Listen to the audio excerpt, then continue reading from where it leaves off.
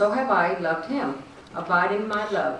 If you keep my commandments, you will be you will abide in my love, just as I have kept my Father's commandments and abide in his love. Mm-hmm. These things I have spoken to you, that my joy may be in you, and that your joy may be full.